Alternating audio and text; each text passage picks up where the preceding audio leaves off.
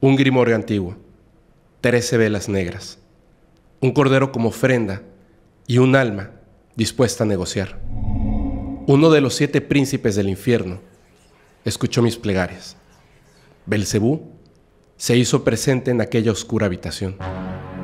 De rodillas le supliqué por su ayuda. Quería, no, necesitaba fortuna, poder, una larga vida, pero principalmente el amor de la mujer que se me había negado. Belcebú me miró indiferente. Aún así sentía que su mirada me calcinaba. De repente, abrió su hocico y dijo, obtendrás todo lo que demandas, a cambio del alma de tu hijo. Quedé perplejo y murmurando respondí, pero yo no tengo hijos. Belcebú, con una voz burlona, replicó, no obstante, lo tendrás. Y cuando llegue al mundo tu primogénito, vendré por él. Pero, si este trato te atreves a romper, sufrirás los más oscuros tormentos. Tú y siete generaciones futuras vivirán interminables jornadas de dolor y terroríficas noches de insomnio.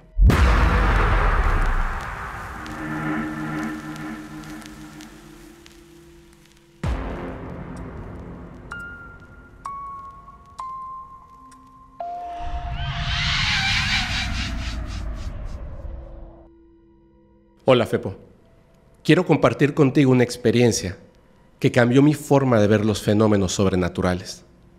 Un día, navegando por internet, me topé con un curioso libro en formato PDF, San Cipriano.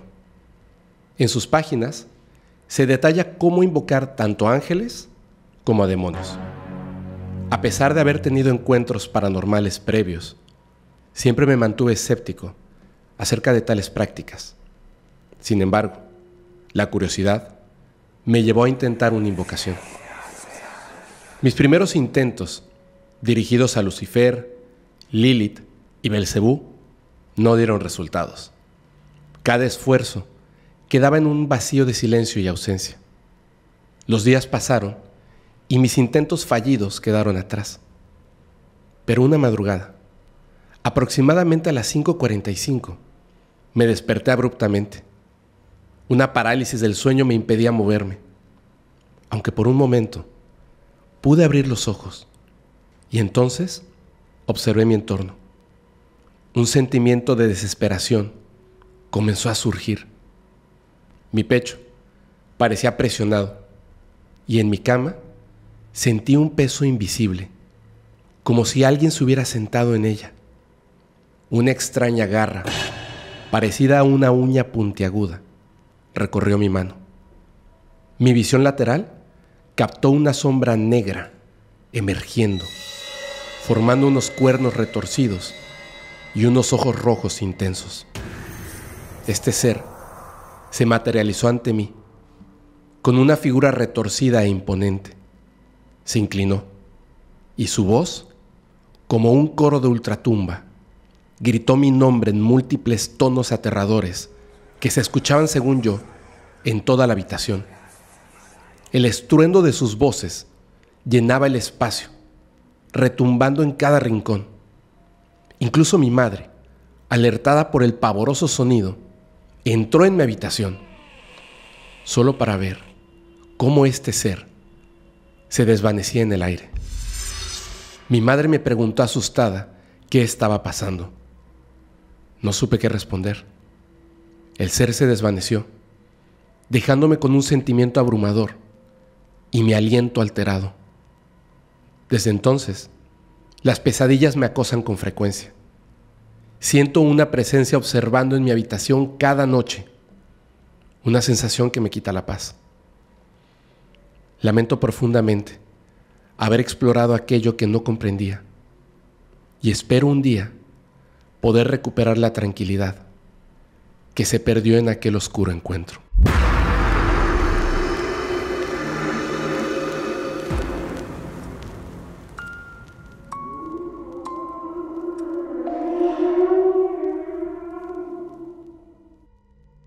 Hola, Fepo. Quisiera compartir una experiencia que viví. Todo comenzó un día en el que tuve muchas cosas que hacer. Ya sabes, tareas, compras.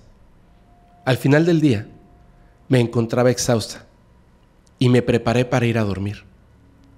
Dado mi agotamiento, caí en un sueño profundo que duró hasta la mañana siguiente. A eso de las 7 de la mañana, estando todavía en ese estado de sueño, comencé a sentirme extraña. Una energía pesada y opresiva se apoderó de mí. Intenté despertar de inmediato, pero me encontré atrapada en una especie de parálisis en la que no podía moverme ni hablar. Logré entreabrir mis ojos y pude ver, justo frente a mi armario, una sombra oscura de un hombre alto, vestido de negro. La figura estaba ahí, de pie, mirándome, y su respiración parecía perforar mis oídos. El terror me invadió de tal manera que las lágrimas empezaron a correr por mi rostro. Mi impotencia ante la situación me mantenía llorando, mientras seguía sin poder moverme ni reaccionar ante esta presencia siniestra. Mi única opción fue intentar comunicarme con palabras susurrantes y entrecortadas, rogándole que por favor se fuera. Pero su figura comenzó a avanzar hacia mí, de manera lenta, como si mi súplica lo enojara. Desesperada, seguí insistiendo en que abandonara mi espacio pero sentía que el enojo del ente aumentaba. Su presencia parecía crecer. Finalmente, reuní todas las fuerzas que pude y le grité, ¡Sal de aquí! En ese momento, la figura se desvaneció y finalmente logré despertar. Después de esa experiencia aterradora, no pude evitar llorar debido al miedo que sentía. Lo más perturbador fue que un aroma podrido impregnó mi habitación, dejando una sensación de terror en mí.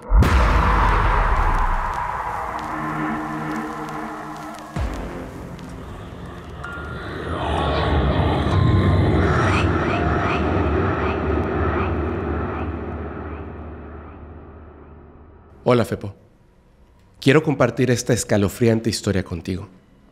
La historia se desarrolla en la casa de la abuela de un amigo.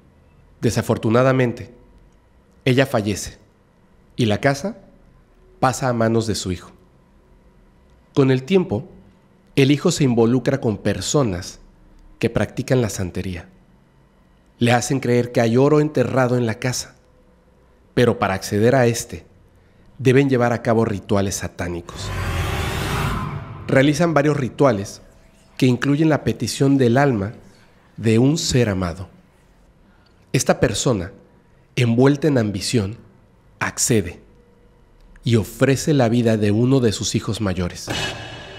Sin embargo, es el hijo pequeño el que fallece.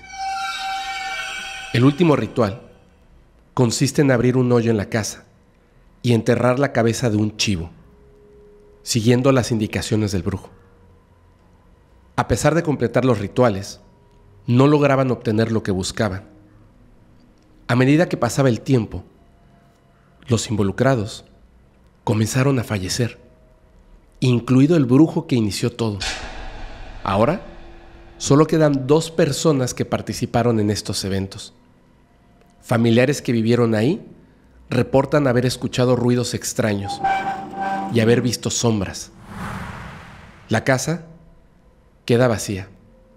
Pero la hermana y la tía de mi amigo viven en casas cercanas y continúan experimentando fenómenos inexplicables. En una ocasión, su tía hablaba con una vecina sobre los eventos sobrenaturales que pasaban en ese lugar.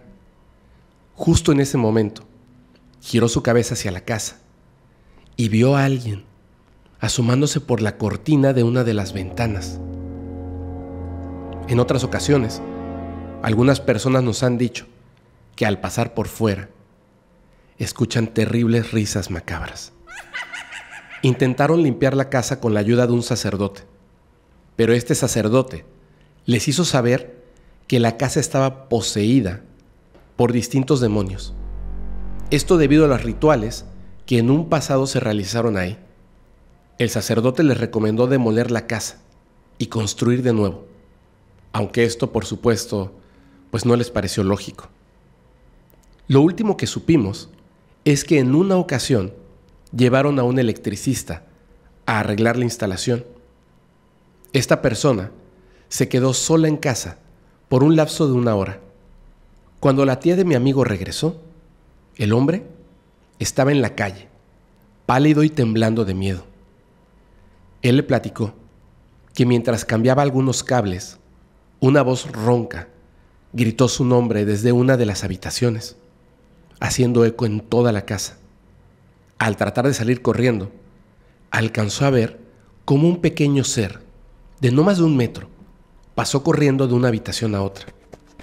A este ser lo describe como un pequeño demonio, con la piel quemada y la cara totalmente deforme. Al día de hoy, la casa sigue deshabitada. Soy un fiel seguidor de tu contenido desde hace tiempo. Saludos y un abrazo.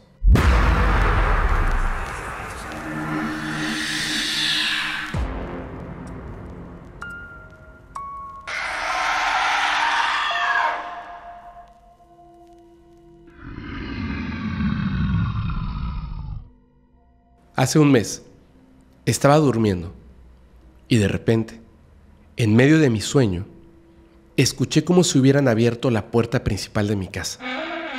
El portazo con el que cerraron me despertó por completo. Al recobrar la conciencia, noté que la puerta se había abierto sin necesidad de llaves. Es decir, habían burlado las dos cerraduras. En ese momento, comprendí que algo extraño estaba ocurriendo. Mientras seguía en la cama, escuché pasos subiendo las escaleras. Me alteré demasiado, ya que pensé que alguien había entrado a robar. Me asomé por la rendija de la puerta, temblando de miedo. Alcancé a percibir que era un hombre, pero por algún motivo no lo sentí humano. Era como si una figura oscura, hecha de sombras, con pasos firmes, lentos y resonantes, se estuviera acercando. Este ser llegó al final de las escaleras. Luego se dirigió hacia la cocina y comenzó a hacer estruendos. Tiraba cosas al suelo, abría y cerraba los cajones con fuerza. Era como si estuviera buscando algo. El pánico se apoderó de mí. No podía moverme permanecí escuchando cómo este ser revolvía la cocina durante un rato, mientras seguía creciendo mi asombro por el hecho de que nadie más en la casa se había despertado ante tanto ruido. Finalmente, los ruidos cesaron y escuché pasos que se dirigían hacia el tercer piso. Estas escaleras estaban cerca de la cocina. El ser siguió su inquietante trayecto abriendo y cerrando cosas en su camino. Luego de un rato, los ruidos se detuvieron y los pasos comenzaron a bajar hacia el segundo piso, donde mi familia y yo nos encontrábamos. Cada paso que daba este ser llenaba el ambiente de una presencia abrumadora. Sus pasos resonaban con firmeza. Finalmente, este ser se dirigió hacia la puerta principal, abriéndola y cerrándola al retirarse. En ese momento, el ambiente cambió completamente. La sensación de presencia desapareció y quedó una paz y tranquilidad que contrastaba con la intensidad de la experiencia que había vivido. Poco tiempo después, nuevamente me desperté en mitad de la noche. Escuché ruidos que venían del patio trasero de mi casa. Sabía que una vez más, este ser había entrado en mi casa y se desplazaba por ella, registrando todo nuevamente, como si estuviera buscando algo. Eso que buscaba era yo. Lo podía sentir. Su presencia era aterradora, pero sabía que no había venido a hacerme ningún daño físico. Más bien, buscaba infundir miedo, como si se alimentara de éste. Permanecí bajo las cobijas, escuchando y sintiendo cómo se acercaba a mi habitación. Sentía que él sabía que yo estaba despierta, pero decidí no responder ni mostrar abiertamente mi miedo. Finalmente, este ser entró en mi habitación. Era alto, jamás pude observar su rostro. Era como ver una sombra en tres dimensiones, observando fijamente hacia donde yo estaba. Una especie de parálisis me impidió moverme y gritar. Pese al terror que sentía, decidí mantenerme inmóvil y tranquila. La presencia fue desapareciendo gradualmente para nunca más aparecer de nuevo. En verdad, es una experiencia que marcó mi vida para siempre.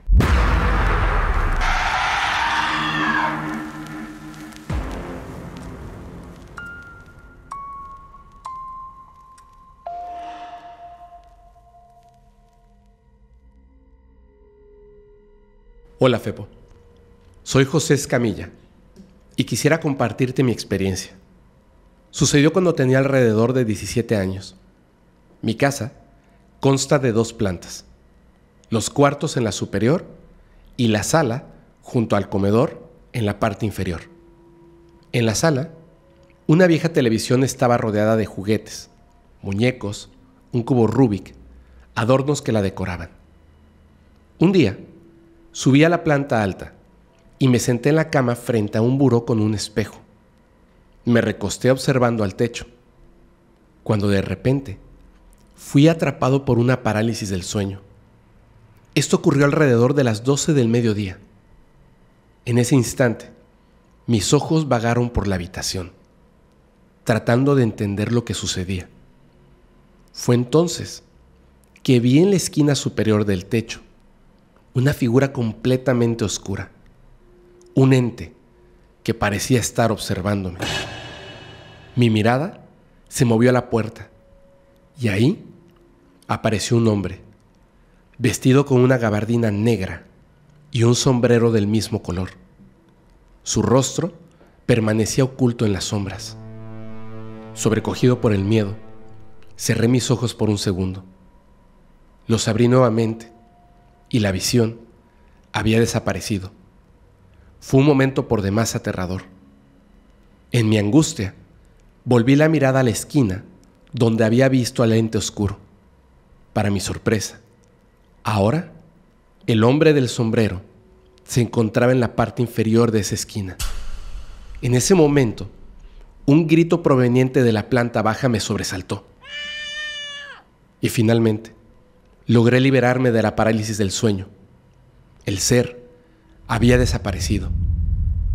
Bajé y descubrí que mi hermano había sido impactado en la espalda por el cubo Rubik, un objeto que había sido arrojado sin explicación alguna mientras él ascendía las escaleras. Nadie más estaba en casa en ese momento. La noche llegó y decidimos dormir todos juntos en la misma habitación. Casi todos estábamos dormidos cuando de repente un aplauso resonó en el aire. Mi madre soltó un grito de terror, lo que me llevó a encender la luz y acudir a su lado. Contó con pánico que algo o alguien le había golpeado el pie. Desde aquel día, oscuras presencias han seguido manifestándose en esa casa, a pesar de haber sido bendecida en varias ocasiones.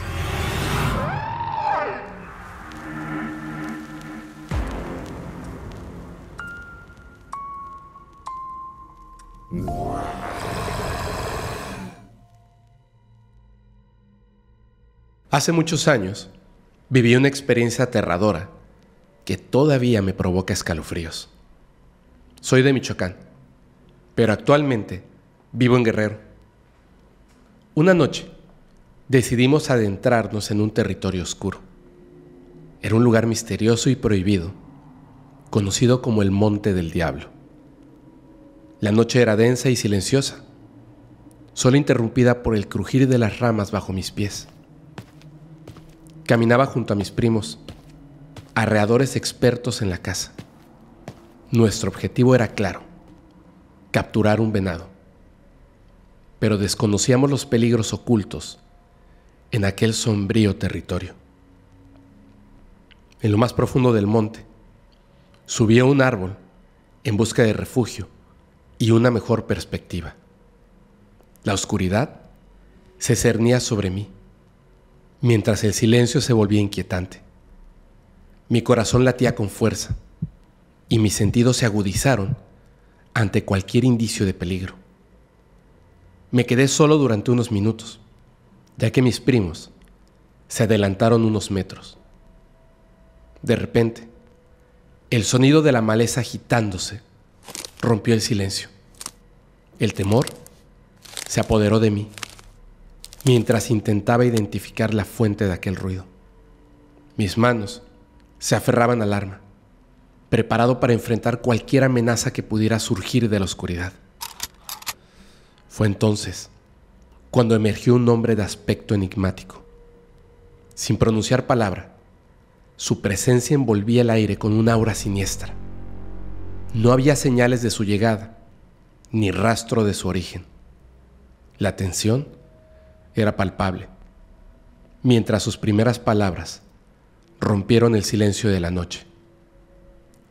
¿Qué hacen aquí? Mi voz se quebró ante su inquietante pregunta, mientras mi mente luchaba por encontrar una explicación. ¿Quién era este hombre? ¿Cómo podría estar ahí, solo? en medio del monte prohibido.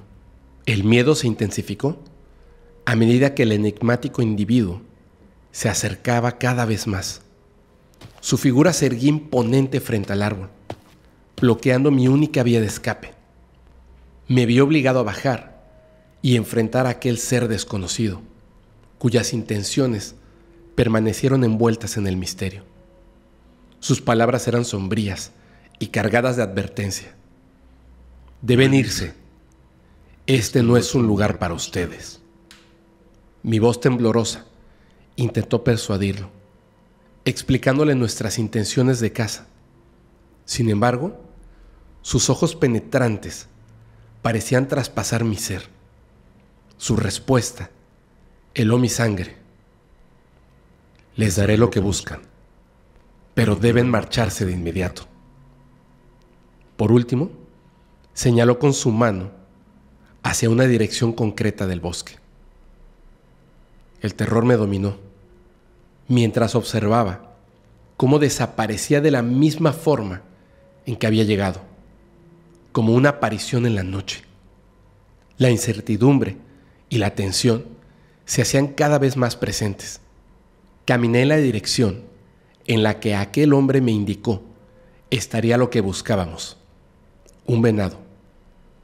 Así que en cuanto lo tuve en la mira, disparé al objetivo y éste cayó tendido sobre el suelo. En cuanto mis primos escucharon el disparo, corrieron hacia el lugar. Y cuando llegaron, lo único que pude decirles es que debíamos salir de ahí cuanto antes. Durante el camino, no se pronunció palabra alguna. Al llegar a casa, la inquietud y el miedo siguieron devorando mi ser. La atmósfera se tornó pesada mientras preparábamos al animal cazado. Y finalmente, decidí compartir mi aterradora experiencia con todos los presentes. Las miradas se volvieron inquietantes y el aire parecía llenarse de una energía oscura. La esposa de mi primo, proveniente del poblado al otro lado del río, rompió el silencio, con palabras cargadas de temor. Sus labios temblorosos revelaron la verdad perturbadora. Habíamos adentrado en el temido monte del diablo, un lugar infame y protegido por fuerzas sobrenaturales. Los ojos de todos se abrieron con asombro y escalofrío, conscientes de que habíamos desafiado a algo más allá de nuestra comprensión. Las historias que se tejían en torno al monte del diablo eran horripilantes Se decía que aquellos que se aventuraban en aquel lugar difícilmente regresaban, o si lo hacían, sus relatos eran de experiencias aterradoras, e incluso muchos salían enloquecidos. Los que salían con vida contaban haber presenciado criaturas de dimensiones grotescas, bolas de fuego que danzaban en la oscuridad, niños fantasmales y grupos de personas orando a entidades malignas. Una pregunta temblorosa escapó de mis labios, buscando respuestas imposibles de obtener. ¿Me estás diciendo que hablé con el diablo? La esposa de mi primo, incapaz de dar una respuesta definitiva, simplemente dijo que de alguna manera había tenido una suerte extraordinaria al ser invitado a abandonar aquel lugar maldito, sin ninguna consecuencia mayor. Las noches posteriores se volvieron insoportables, sumidas en el insomnio y la intranquilidad. Cada crujido y sombra parecían susurrar advertencias y amenazas silenciosas. Incluso le supliqué a mi padre que abandonáramos el lugar de inmediato, temiendo que la oscuridad del monte del diablo nos persiguiera más allá de sus confines malditos.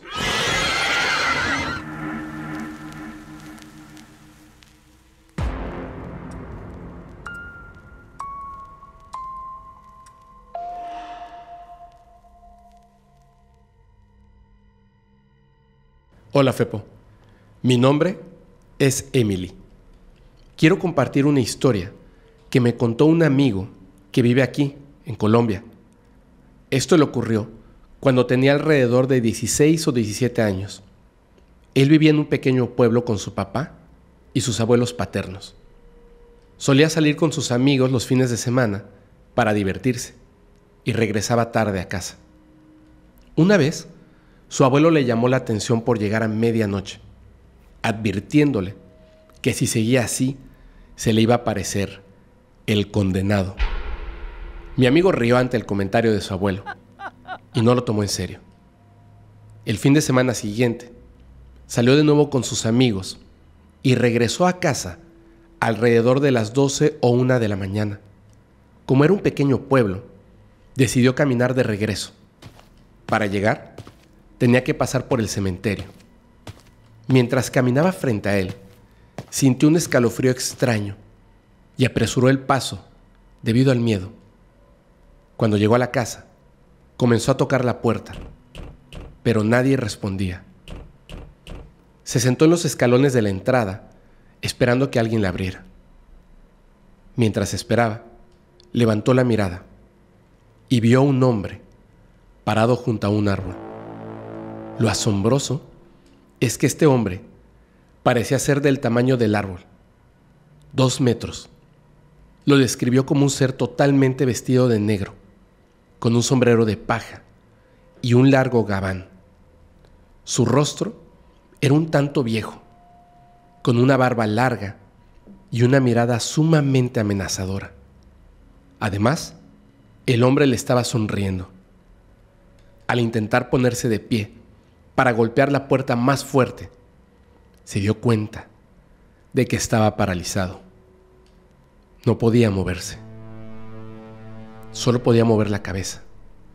Así que comenzó a golpear la puerta con ella hasta que su prima le abrió y finalmente pudo pararse. Dentro de la casa, abrazó a su prima fuertemente debido al susto. Mientras se dirigía a su habitación, pasó frente al cuarto de su abuelo y el hombre comenzó a reír con una risa escalofriante. Al día siguiente, cuando salió rumbo a la escuela, notó que la tierra en el lugar donde el hombre de negro estuvo parado estaba quemada. La experiencia le dejó una profunda impresión y respeto por lo desconocido, sin mencionar que durante un largo tiempo dejó de llegar tarde a su casa.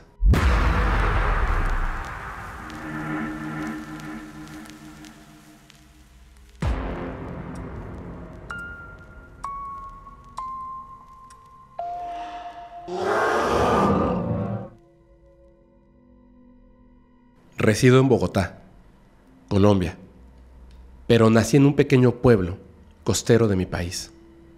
Desde mi infancia, he arrastrado un pánico irracional hacia los espejos. De niña, los cubría meticulosamente con mantas. Actualmente, en mi hogar con mi esposo e hijo, solo tenemos espejo en el baño. Para entender mi relato, es esencial comprender que soy una persona que capta las energías a mi alrededor. Puedo discernir si soy bienvenida en un lugar o no, ya que experimento cómo mi energía fluye, se estanca o rechaza las energías de otras personas. Por razones laborales, me vi en la necesidad de viajar a Truro, una pequeña ciudad canadiense. Llegar al hotel era el ansiado premio después de un agotador viaje de 12 horas, combinando trayectos aéreos y terrestres. El hotel, perteneciente a una reconocida cadena, aseguraba confort y tranquilidad. No podían estar más equivocados. La habitación asignada fue la 217. Estábamos en pleno enero de 2020 y el hotel se encontraba envuelto en un fuerte invierno además de lucir muy solo. Este edificio, de estructura antigua, me sumió en una atmósfera de película de terror. Mientras ascendía por el elevador de madera y botones dorados, el trayecto se tornó inquietante. Un tapete rojo adornaba el pasillo y mi habitación resultó ser la última a la izquierda. Adentrarme en la habitación fue adentrarme en un ambiente sombrío y helado a medida que exploraba, los espejos se multiplicaban ante mí, emitiendo una sensación de incomodidad y tensión. Al final del cuarto, un espejo alargado se ubicaba junto a un sillón antiguo. La ventana que ofrecía una vista a un bosque seco, denso y nevado, me provocaba una inquietud sumamente extraña. Esa noche tenía una cena programada a las seis de la tarde aguardé en el lobby la llegada de mis compañeros de trabajo. La cena transcurrió en un ambiente ameno. Sin embargo, el regreso al hotel, cerca de las nueve de la noche, revivió mi tormento. La incertidumbre de la noche que se avecinaba me inquietaba. Cansada e intranquila por los espejos, me acosté. La cama frente al espejo alargado me acogió y el constante cambio de temperatura me despertaba repetidamente. Antes de cenar, había solicitado que revisaran la calefacción y me aseguraron que todo estaba solucionado. No obstante, mis sueños fueron interrumpidos por una experiencia aterradora. Desperté en un extraño estado, observando mi propio cuerpo dormir. Mi cabello se veía fuera de las cobijas. De repente, una figura oscura emergió del espejo alargado al pie de la cama. Esta sombra se aproximó, despojándome de las cobijas y forzando sus dedos alargados en mi boca mientras intentaba meterse en ella. Al mismo tiempo, experimenté una sensación de asfixia y me desperté. Asumí que todo fue una pesadilla. La habitación estaba sumida en la oscuridad, la televisión apagada. Mi atención fue dirigida a la esquina del cuarto, donde una silueta se distinguió por la tenue luz que atravesaban las cortinas. El terror se apoderó de mí y salté de la cama al piso, sosteniendo mi celular como linterna. Apunté a la esquina, pero no encontré nada. Mis dedos buscaron el control remoto, encendieron el televisor. Mantuve esta vigilia toda la noche, hasta que el sueño finalmente me venció al amanecer. Desperté a las 8 de la mañana, sintiéndome peor que nunca, debido a esta noche desgarradora. Anhelaba escapar de esa habitación. Por tanto, me apresuré a desayunar, donde percibí el mismo ambiente sombrío y solitario. Atendí mis responsabilidades y regresé al hotel esa noche. No tenía otra alternativa. Casi instantáneamente, me hundí en un sueño profundo. Sin embargo, la medianoche me arrancó de este reposo. Voces masculinas y peleas resonaban en el pasillo. Sombras danzaban bajo la puerta. La molestia por ser despertada en ese momento me llevó a comprobar mi seguridad y verificar el origen del ruido. Miré por la mirilla, pero no había rastro de actividad. Contacté a la recepción para quejarme por el ruido, solo para enterarme de que yo era la única huésped en ese piso.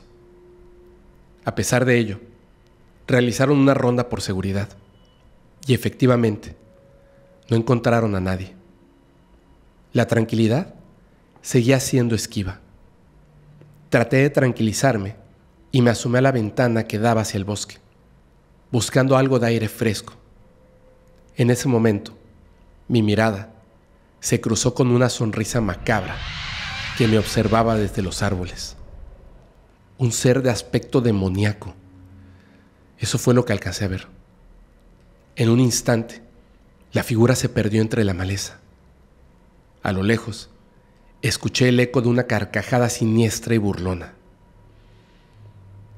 No sé si lo que se presentó era un demonio o un alma en pena, pero esas noches continúan atormentando mi mente y jamás podré olvidar esa risa macabra.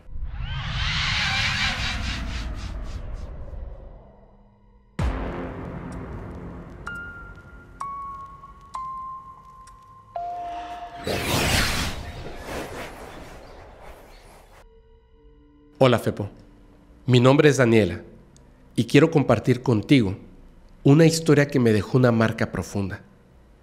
Anteriormente, vivía en casa de mi suegra. Nuestra relación nunca fue amigable y siempre hubo tensiones entre nosotras. Una noche, junto a mi pareja, estábamos en la sala viendo la televisión. Agotada, decidí ir a dormir mientras él seguía viendo una película. Recuerdo que ya acostada de lado, en un instante, sentí un susurro en mi oído, pronunciando mi nombre tres veces. Daniela, Daniela, Daniela.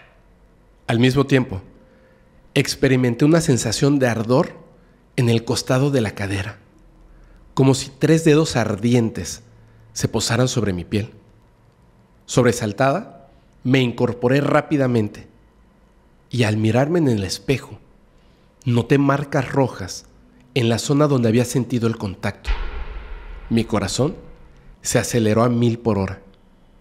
Corrí hacia la sala, pensando que mi pareja estaba detrás de una broma pesada.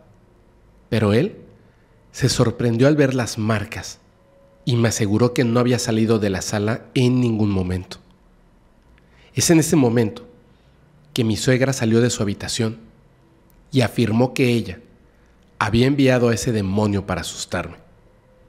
Justo en ese momento, alcancé a ver una cara roja en un espejo que estaba frente a mí, la cual se ocultó rápidamente detrás de una pared.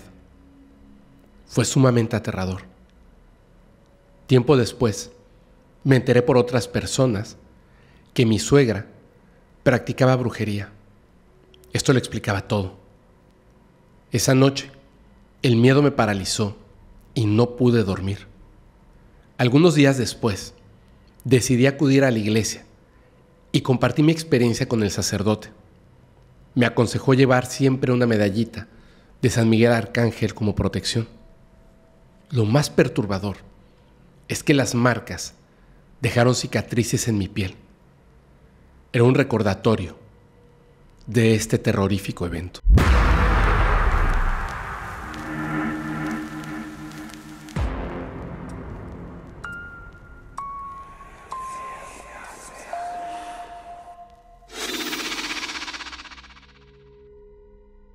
Desde que era muy pequeña, aproximadamente a los 5 o 6 años, solía tener encuentros con una sombra oscura.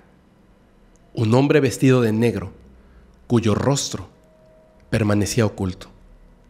Mis padres solían preocuparse porque les decía que veía a un señor pasar al baño. entrar a la casa o estar de pie en el patio. Aunque no sé si mis padres dejaron de creerme con el tiempo, yo continuaba viéndolo. Siempre estaba ahí, caminando o de pie, observando en silencio. Un día en casa de mis abuelos, algo diferente sucedió. Mi prima y yo lo vimos en un balcón. En esta ocasión, su mirada era intensa. Nos veía con determinación. Por un momento creímos que era uno de mis tíos, ya que el balcón daba hacia su departamento. Nos acercamos.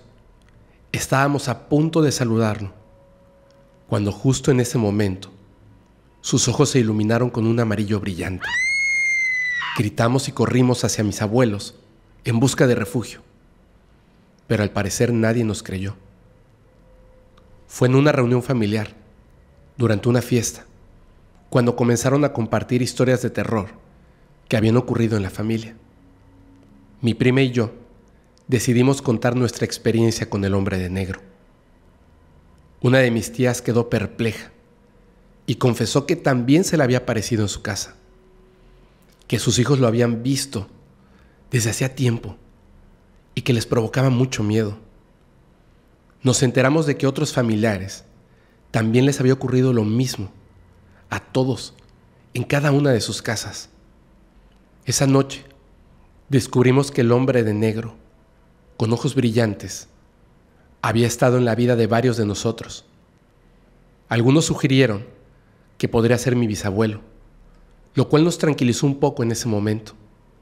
No obstante, a medida que escuchaba más historias de personas que lo habían visto en diferentes lugares, comprendí que no podía ser mi bisabuelo. La situación se volvió simplemente aterradora.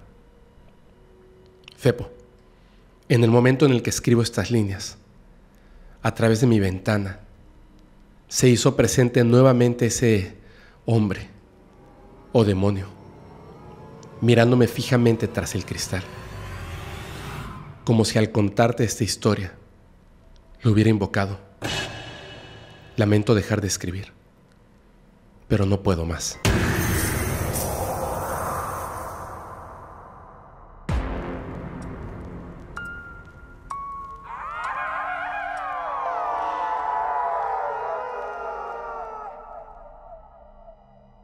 Hola Fepo. Mi historia está ligada al demonio Baal, también conocido como Baal o Belcebú. Todo comenzó hace varios años, cuando estaba en secundaria. Tenía entre 14 y 15 años y estaba atravesando un momento realmente complicado en mi vida. Me sentía muy solo, triste y desmotivado. Mi inteligencia era mediocre y en aquel entonces era el peor estudiante de mi clase por mucho. Además, carecía de un propósito claro en mi vida. Vale la pena mencionar que asistí a una escuela católica en tercer grado de secundaria. Dada mi situación, decidí buscar ayuda con un sacerdote de la escuela, para no sentirme tan solo. Las noches se tornaban insoportables y después de algunas sugerencias, decidí realizar oraciones y pedir ayuda a Dios, según la religión católica. Rezaba suplicando la compañía de un ángel o santo para aliviar mi soledad. A los pocos días, empecé a tener sueños en los que aparecía un nombre, a Baal, y luego Baal. Estos nombres quedaron grabados en mi mente y con el tiempo noté cambios significativos en mi vida. Ya no me sentía solo. Mi inteligencia comenzó a desarrollarse y mi astucia e intuición crecieron de manera sorprendente. Mi ambición, deseo de poder y orgullo también aumentaron de manera exorbitante. Durante ese periodo me hice muy cercano a Baal. Utilizaba un espacio mental para comunicarme con él reflexionando sobre mis problemas y buscando su consejo. Mis palabras eran acompañadas por ideas repentinas que a menudo contradecían o cuestionaban lo que decía, como si estuviera teniendo un diálogo con un maestro o un amigo. Sin embargo, todo cambió cuando llegué al segundo semestre de la preparatoria. Era la preparatoria San Francisco de Asís, otro colegio católico. Un día, al llegar a casa, encontré una Biblia y un amigo de la escuela me había sugerido que la abriera en una página al azar, sin mirar, para encontrar un mensaje. Para mi sorpresa, la página abierta reveló que Baal era un demonio o un falso dios al que rendían culto en épocas pasadas. Esta revelación me dejó helado y me inundó de confusión y furia. Sentí que mi fe en el Dios católico había sido traicionada. Decidí no profundizar más en Baal, por miedo, y tomé la decisión de alejarme de todo lo relacionado con la religión. Sentía que estaba en un estado de confusión y me preguntaba en silencio, ¿por qué un demonio respondería a mis oraciones? ¿Quién soy yo para merecer su atención? ¿Cómo es que un ser tan mediocre como yo despertó su interés? A pesar de estas dudas, continué avanzando en la vida, esforzándome por ser el mejor en todo lo que hacía. Un año y medio después, estaba por terminar la preparatoria y me encontraba entre los mejores estudiantes de mi generación.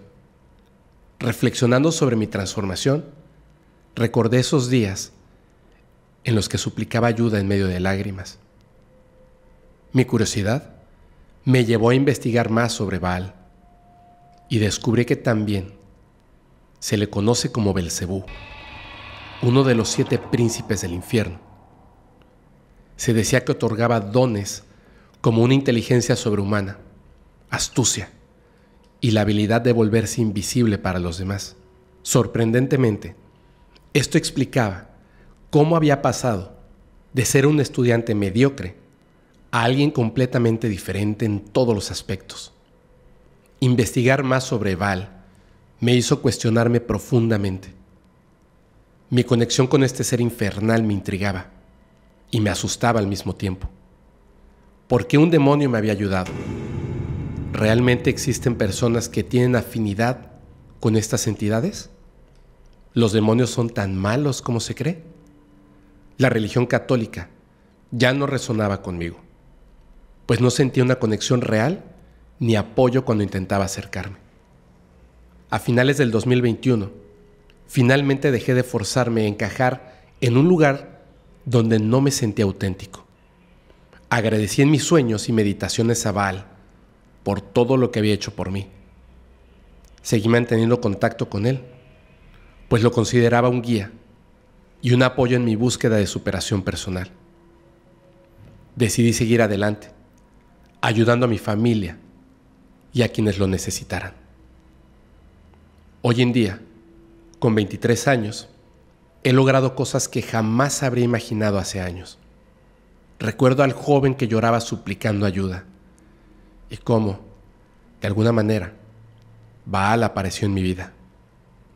A veces no encajamos en ciertos lugares y forzarnos a hacerlo puede limitarnos y cegarnos ante otras oportunidades. Tal vez nuestro destino se encuentra en un camino que va más allá de lo convencional. Saludos, Fepo. Espero que mi historia te parezca interesante.